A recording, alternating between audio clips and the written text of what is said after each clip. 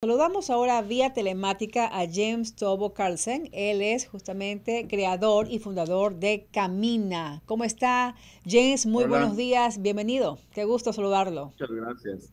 Muchas gracias por el espacio. Un gusto saludarles también. Igualmente. Leí el boletín de prensa que ustedes nos enviaron y me llamó mucho la atención el hecho de que todos en algún momento de nuestras vidas hemos tenido estrés financiero, precisamente ahogados por las deudas y principalmente esto sucedió más en la época de pandemia cuando hubo un recorte de muchos... Eh, oficinas, empresas que hicieron recorte de personal, personas que lastimosamente se vieron con meses de atraso en cuanto a sus sueldos y las deudas crecieron y vino con más, eh, quizás con más fuerza el estrés financiero. Cuéntenos al respecto y principalmente conocer qué es Camina.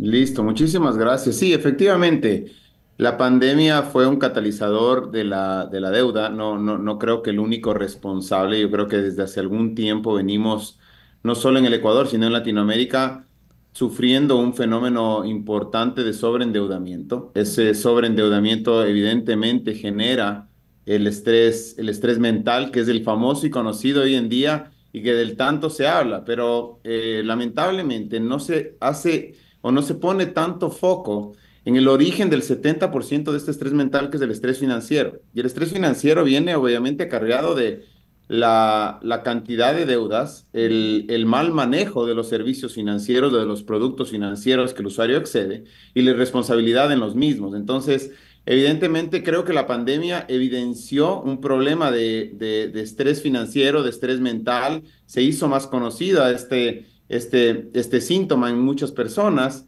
eh, pero, pero venimos acarreando este fenómeno hace algún tiempo y lo único que ha pasado es que post pandemia hubo algo de, quizás, quizás algo de, de, una imagen eh, irreal dentro del, del, del formato de, de, cómo estaba la economía en el país y de cómo estaban los usuarios, porque muchos usuarios, si bien no, ah, perdieron su trabajo y, no tenían cómo, cómo, cómo, subsistir, hubo otros que ahorraron muchísimo también. Entonces, ese fenómeno eh, eh, agregado a que varias instituciones financieras encontraron un vehículo muy importante en la colocación de créditos digitales que anteriormente no eran tan fuertes como ahora. Estamos hablando de que las, las instituciones financieras principales que colocan créditos vía digital, eh, la colocación de créditos digitales es 3 a 1 versus la física. Y eso les permitió, obviamente, eh, no, no, no, quiero decir endeudar, sino facilitar este, estas herramientas a muchísimas más personas, pero sin el entendimiento adecuado de, de saber precisamente qué era lo que estaban necesitando y qué iba a pasar si es que accedían a tantos créditos. Y ahora, eh, cuando estamos ya eh, unos años después de pandemia, cuando las cosas se, se, podría decir que deberían estar regulándose un poquito más, nos encontramos con un, con un histórico de mora eh, a, nivel, a nivel Ecuador y a nivel Latinoamérica. Bueno, y con esa explicación, James, ¿qué es Camina? ¿Cómo nace este proyecto, esta idea?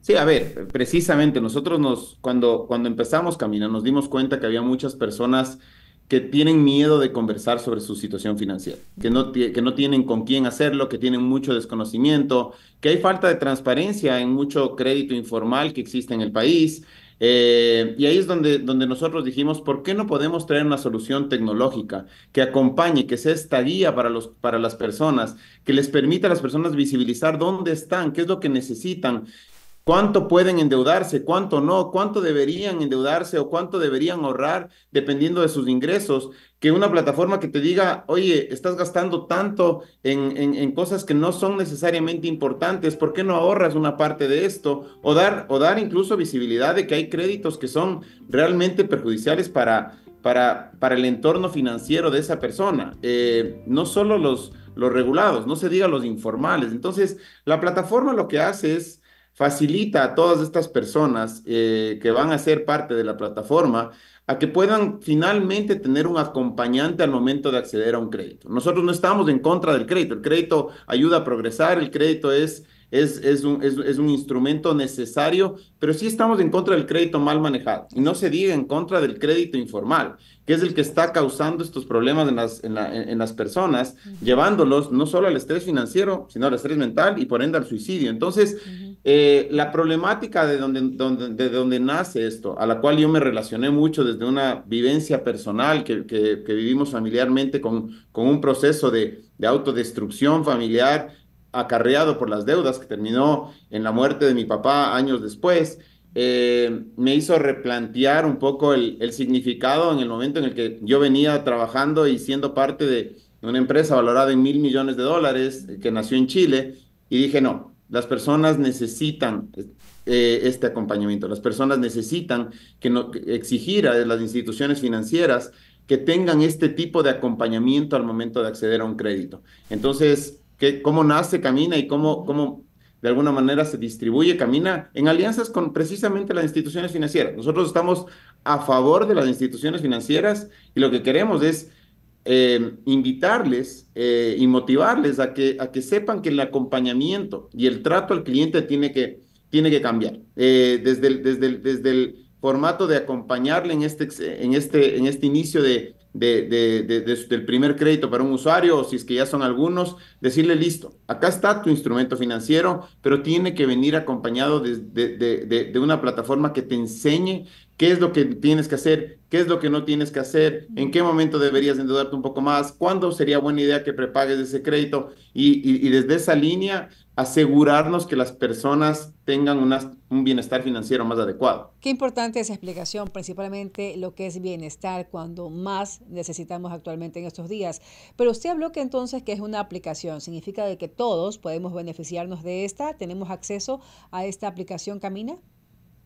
Sí, a ver, eh, en, la primera fase lo que nosotros vamos a hacer es trabajar con tres o cuatro instituciones financieras. Venimos conversando con todas, no podemos salir al mercado con absolutamente todas desde el día uno, porque la, plataforma tiene que ir en un constante proceso de evolución y de entendimiento y de estabilización. Eh, todavía no anunciamos con quiénes vamos a salir inicialmente, pero vamos a ser con unas de las instituciones financieras más importantes del país. Y lo que estamos logrando, porque hay un genuino interés de estas instituciones financieras, tanto bancos como cooperativas, de entregar este beneficio a sus usuarios. Hay un genuino interés de apoyarlos, hay un genuino interés de evitar que este usuario que se endeuda eh, con una institución financiera inicial termine con 12, 13 y hasta, hasta 13 créditos, que es lo que hemos estado viendo, porque eso causa al final un problema en la, en, la capacidad de pago de este, de este usuario con, el con su crédito original. Entonces, inicialmente la plataforma va a ser distribuida en los créditos y en las personas que están con un crédito actualmente y a eh, clientes de instituciones financieras. Desde, desde el momento en el que nosotros eh, empezamos esa distribución, nosotros permitimos al usuario y a los usuarios a que sean o a que apadrinen o a que sean responsables de la inclusión y de la educación financiera, financiera de otros. ¿A qué me refiero con esto? A que una persona cuando acceda a este, a este, a este beneficio, gracias a su banco o institución financiera, esta persona va a poder desbloquear beneficio gratuitamente a personas que ellos consideran que son las que más necesitan. Y desde ahí nosotros vamos entregando esta, esta plataforma desde un, desde un sentido orgánico a las personas que seguramente ni siquiera están bancarizadas y que ojalá el día de mañana puedan ser las que puedan adquirir a ese crédito tan necesitado. Ahora, usted mencionó su experiencia personal, eh, familiar principalmente, pero quizás tienen registros actualmente, estadísticas de cuántas personas en el país al menos han sido afectados por este estrés financiero. Eh, estamos, estamos hablando de un número altísimo. Eh, estamos hablando de que por lo menos 60 personas, 60% de la población tiene estrés mental. Y, 60 por, y 70% del estrés mental es, es, causado por el estrés financiero. Entonces, estamos hablando que el 42% de la, de la población tiene un, un, cierto parámetro, cierto índice eh, de, de, estrés financiero, eh, lo cual en una de cada cuatro suicidios es el origen ocasionado por esto. Entonces, no es un problema menor, es un problema del que se tiene que entrar en conciencia. Hay mucha, mucha irresponsabilidad, hay mucho desconocimiento y lamentablemente las personas con menos de educación son las más afectadas. Recientemente hablaba con una persona a la que le decía, ¿por qué no tiene usted un, crédito con el banco? Me decía, el banco cobra el 16, sabía que el banco cobra el 16, lo cual me pareció increíble. Y me decía, y en cambio aquí yo, tengo un amigo que me presta el 1%. Claro, era el 1% diario. Entonces hay, hay, hay, hay, hay, un, hay un desbalance en el desconocimiento y en la transparencia y en, la, y en, y en, esa, en esa visibilidad que las personas realmente están necesitando y donde nosotros entramos a dar total transparencia y acompañamiento. Me llama la atención de que Camina es con K. ¿Por qué? A ver, eh, el, Camina es porque este, eh, nosotros, el, salir a la liberación financiera eh, no es un proceso en el que corres y te endeudas y te sobreendeudas y, y vas rápido. Es un proceso en el que caminas, es un proceso en el que te dejas acompañar, te vas de la mano y vas caminando hacia, hacia esa liberación financiera y hacia, hacia esa, ese bienestar financiero, hacia, hacia, alcanzar del bienestar financiero.